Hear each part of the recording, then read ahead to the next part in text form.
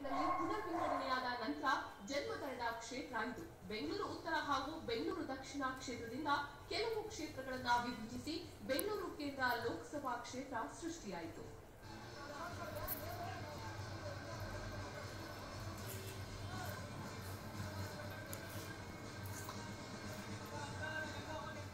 ಇಲ್ಲಿಗೆ ಮೊದಲ ಬಾರಿಗೆ ಸಂಸತ್ ಚುನಾವಣೆ ನಡೆದಿದ್ದು ಎರಡ್ ಸಾವಿರದ ಮೂವತ್ತೈದು ಸಾವಿರ ಮತಗಳ ಅಂತರದಿಂದ ಬಿಜೆಪಿಯ ಪಿಸಿ ಮೋಹನ್ ಕಾಂಗ್ರೆಸ್ನ ಎಸ್ ಟಿ ಸಾಂಗ್ಲಿಯಾನ ವಿರುದ್ಧ ಗೆದ್ದಿದ್ರು ಎರಡ್ ಸಾವಿರದ ಹದಿನಾಲ್ಕರಲ್ಲಿ ಕಾಂಗ್ರೆಸ್ನ ರಿಜ್ವಾನ್ ಅರ್ಷದ್ ವಿರುದ್ಧ ಒಂದು ಲಕ್ಷದ ಮೂವತ್ತೈದು ಸಾವಿರಕ್ಕೂ ಹೆಚ್ಚು ಮತಗಳ ಅಂತರದಿಂದ ಗೆದ್ದು ಎರಡನೇ ಬಾರಿ ಸಂಸದರಾಗಿದ್ದು ಪಿಸಿ ಮೋಹನ್. ಈ ಬಾರಿ ಇಲ್ಲಿ ಕಾಂಗ್ರೆಸ್ ಅಲೆ ದಟ್ಟವಾಗಿದ್ದು, ಪಕ್ಷೇತರರಾಗಿ ಕಣಕ್ಕಿಳಿದಿರುವ ಪ್ರಕಾಶ್ ರಾಜ್ ಕಣದಲ್ಲಿರುವುದು ಕಾಂಗ್ರೆಸ್ಗೆ ತಲೆನೋವಾಗಿ ಪರಿಣಮಿಸಿದೆ.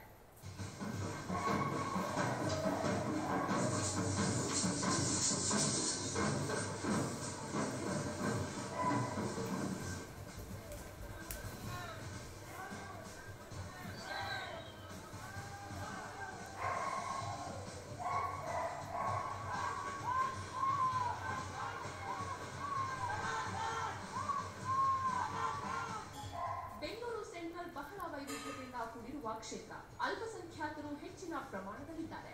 ಅದರ ಜೊತೆಗೆ ವಿವಿಧ ಮಾತೃಭಾಷೆಯ ಜನರು ಇದ್ದಾರೆ. ಮುಸ್ಲಿಮರು, ಕ್ರಿಶ್ಚಿಯನರು, ತಮಿಳು ಭಾಷಿಕರು, ಜೈನರು, ಮಾರ್ವಾಡಿಗಳು ಹೀಗೆ ನಾನಾ ಭಾಷೆ ಧರ್ಮದ ಜನರಿಂದ ಕೂಡಿರೋದ್ರಿಂದ ಬಹಳ ಸವಾಲಿನ ಕ್ಷೇತ್ರ ಇದು. ಹೀಗಾಗಿ ಸದಾ ಬಿಜೆಪಿಯ ವಿರುದ್ಧ ಗುಡುತ್ತಾ ಇದ್ದ ಪ್ರಕಾಶ್ ರಾಜ್ ಗೆಲುವಿನ ಕನಸು